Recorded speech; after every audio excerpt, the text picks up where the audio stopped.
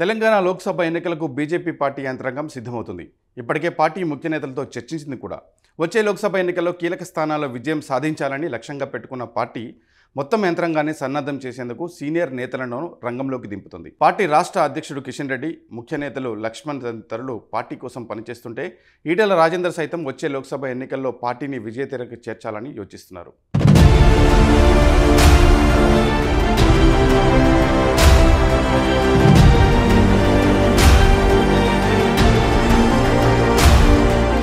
Telangana assembly ఎన్నికల్లో ఎనిమిది స్థానాల్లో విజయం సాధించిన బీజేపీ పద్నాలుగు శాతం ఓటింగ్ సాధించి సత్తా చాటింది. గత లోక్సభ ఎన్నికల్లో నాలుగు స్థానాల్లో విజయం సాధించి ఔరా అనిపించుకున్న పార్టీ ఈసారి లోక్సభ ఎన్నికల్లో పది సీట్లను టార్గెట్గా పెట్టుకుంది. ఈ సీట్లలో పార్టీని విజయ తీరాలకు చేర్చేందుకు కసరత్తు చేస్తుంది. ఇందులో భాగంగా బీజేపీ అగ్రనేత ఈటెల రాజేందర్ తెలంగాణ లోక్సభ ఎన్నికల్లో పార్టీకి పెద్ద ఎత్తున ప్రచారం చేయాలని భావిస్తున్నారు. బీజేపీలో చేరిన దగ్గర నుంచి పార్టీ హైకమాండ్ ఆదేశాలకు అనుగుణంగా నడుచుకుంటున్న ఈటెల తెలంగాణలో పార్టీ లోక్సభ ఎన్నికల్లో విజయం సాధించేలా కసరత్తు చేస్తుంది. చేస్తున్నారు ఇప్పటికే పట్టణ ప్రాంతాల్లో బీజేపీ పట్ల ఊపు కనిపిస్తుంది.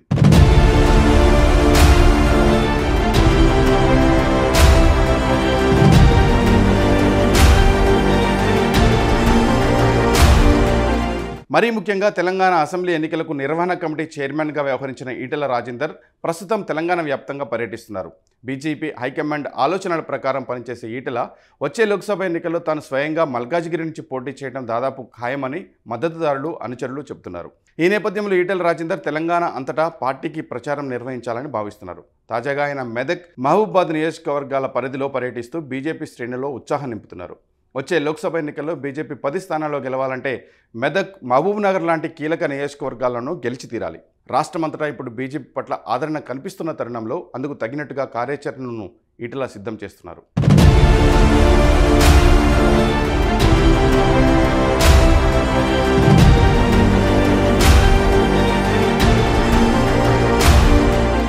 బీజేపీ సిట్టింగ్ స్థానాలైన ఆదిలాబాద్ కరీంనగర్ సికింద్రాబాద్ నిజామాబాద్ సీట్లలో మరోసారి జెండా ఎగురవేయాలని బీజేపీ భావిస్తుంది. ఇప్పటికే సిట్టింగ్ ఎంపీలకు మరోసారి సీట్లు కేటాయిస్తామన్న పార్టీ హైకమాండ్ వారి వారి నియోజకవర్గాల్లో అనుసరించాల్సిన వ్యూహాలను అమలు చేయాల్సిందిగా సూచనలు చేసింది. ఇదే సమయంలో ఈటల రాజేందర్ తెలంగాణలోని మిగతా అన్ని సెగ్మెంట్లను పర్యటించి వచ్చే లోక్సభ ఎన్నికల్లో పార్టీని సమాయత్తం చేస్తున్నారు. తెలంగాణలో పది స్థానాల్లో గెలిచి తీరాలన్న కేంద్ర పెద్దల ఆదేశాలకు అనుగుణంగా ఈటల కసరత్తు చేస్తున్నారు. ఆయా నియోజకవర్గాల్లో సమావేశాలు కార్యక్రమాలు నిర్వహిస్తూ పార్టీ క్యాడర్ నాయకత్వంలో ఊపు తీసుకొస్తున్నారు. దేశానికి ప్రధాని నరేంద్ర మోదీ నాయకత్వం ఎంత అవసరమో వివరిస్తూ తెలంగాణలో బీజేపీ గెలుపు ఆవశ్యకతను ఆయన వివరిస్తున్నారు. ఇవి రోజు ఆదిలాబాద్ నుంచి మొదలుపెట్టి అలంపూర్ వరకు కొత్తగూడెం నుంచి మొదలుపెట్టి పరిగి తాండూరు వరకు ఈ జిల్లా ఆ జిల్లా అనే తేడా లేకుండా ఈ కులము ఆ కులం అనే తేడా లేకుండా చివరికి పార్టీలతో సంబంధం లేకుండా జెండాలతో సంబంధం లేకుండా మోడీ గారినే గెలిపించాలనేటువంటి మాట వస్తుంది. మరీ ముఖ్యంగా మహిళలు మాత్రం తెలంగాణ మా ఆడబిడ్డలు మాత్రం మీరు ఎవ్వరు చెప్పినా ఈసారి వినేది లేదు. ఈసారి మా ఓటు మోడీ గారికి అనే భావన వస్తుంది. జనరల్గా ఒక ఐదు సంవత్సరాలు ఎమ్మెల్యేగా ఉన్న వాళ్ళకు ఎంపీలుగా ఉన్న వాళ్ళకు ప్రభుత్వం చెలాయించే వాళ్ళకు ప్రజల వ్యతిరేకత ఉంటుంది. కానీ నరేంద్ర మోడీ గారు వచ్చిన తర్వాత ఒక కొత్త చరిత్రకి రూపకల్పన చేసిండు. ఒక కొత్త వరవడి సృష్టించిండు. రెండు వేల పద్నాలుగులో గుజరాత్ను అభివృద్ధి చేసినటువంటి ముఖ్యమంత్రిగా దేశ ప్రజల ముందుకు వచ్చినప్పుడు రెండు వందల డెబ్బై మూడు సీట్లు భారతీయ జనతా పార్టీకి మాత్రమే కట్టబెట్టి వాళ్ళ మిత్రపక్షాలకు కూడా సీట్లు కట్టబెట్టి ఒక అజేయమైనటువంటి గెలుపును అందించిండ్రు రెండు వేల పద్నాలుగులో భారత ప్రజానికం.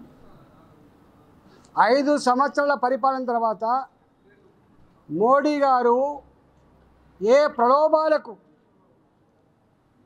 ఏ చిన్న చిన్న హామీలకు తెరలేపకుండా మీ బిడ్డగా ఐదు సంవత్సరాలు పాలించిన వ్యక్తిగా మీ ముందుకొస్తున్న నా పరిపాలన నచ్చి మీరు ఓట్లు వేయమని చెప్పి చెప్పుకోరిండు. నిండు మనసుతో ఆశీర్వదించమని చెప్పి కోరిండు కోరితే మూడు వందల మూడు సీట్లు ఇచ్చి భారతీయ జనతా పార్టీకి మాత్రమే మూడు వందల మూడు సీట్లు ఇచ్చి మిత్రపక్షాలను కూడా గెలుపుకొని గెలిపించుకొని ఇవాళ భారత ప్రజానీకానికి ఒక గొప్ప విశ్వాసాన్ని కలిగించినటువంటి వ్యక్తి నరేంద్ర మోడీ గారు.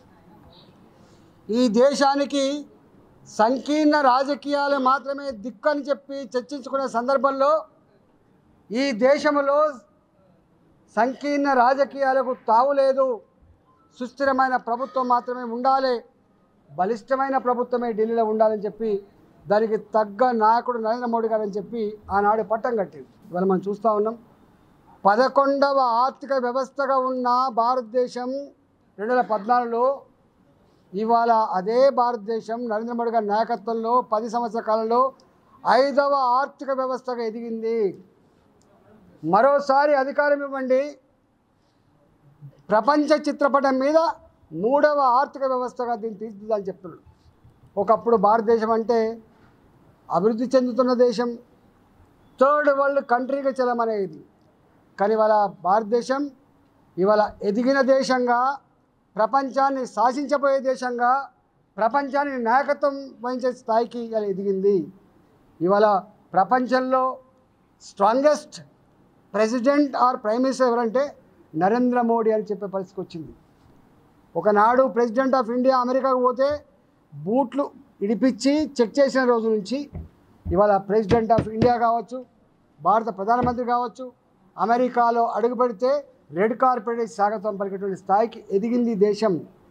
ప్రపంచ చిత్రపటం మీద భారత ఔన్నత్యాన్ని ఆత్మ గౌరవాన్ని నిలిపిన వ్యక్తి నరేంద్ర మోడీ గారు అనే విషయం అర్థమైంది కాబట్టి తప్పకుండా ఈ విషయాలన్నీ కూడా ప్రతి ఇంట్లో చదువుకున్న పిల్లలు ఉన్నారు కాబట్టి. ఇవాళ విద్యార్థులు కావచ్చు చదువుకున్న యువకులు కావచ్చు ఇలా గ్రీన్గా ఉన్న వాళ్ళు కూడా ఇవాళ డిగ్రీ చేసిన వాళ్ళు ఉన్నారు కాబట్టి. నేను ఒకటే కోరుతున్నా భారత ప్రజానీకానికి మరీ ముఖ్యంగా తెలంగాణ ప్రజానీకానికి మన ప్రజానీకానికి ఇవాళ అనేక మందిని చూసినాం అనేక స్కాములు చూసినాం కానీ మచ్చ లేకుండా స్కామ్ లేకుండా పటిష్టమైన పద్ధతిలో ఒక విశ్వాసాన్ని ఒక ధైర్యాన్ని ఒక నమ్మకాన్ని ఆత్మ గౌరవాన్ని ఇచ్చినటువంటి వ్యక్తి నరేంద్ర మోడీ గారు ఆత్మ గౌరవ బావుట నిలిపినటువంటి పార్టీ భారతీయ జనతా పార్టీ కాబట్టి గొప్ప మెజారిటీతో గొప్ప మెజార్టీతో గెలిపించండి. ఈ దేశ పురోగమనంలో భాగం పంచుకోమని చెప్పి తెలంగాణ ప్రజానికానికి విజ్ఞప్తి చేస్తున్నారు లోక్సభ ఎన్నికల్లో కీలక స్థానాలు గెలుచుకోవడం ద్వారా భవిష్యత్తులో తెలంగాణలోనూ బీజేపీదే అధికారమన్న భావనను కలిగిస్తూ ప్రజలలో చైతన్యం తెస్తున్నారు. మరీ ముఖ్యంగా బీజేపీ కేడర్లో ఉత్సాహం నింపుతున్నారు. అసెంబ్లీ ఎన్నికల్లో ఎదురైన అనుభవాల నేపథ్యంలో లోక్సభలో పటిష్ట వ్యూహంతో వెళ్ళాలని పార్టీ యోచిస్తుంది. అందుకే పార్టీకి మేలు జరిగే అన్ని చర్యలను తీసుకుంటుంది.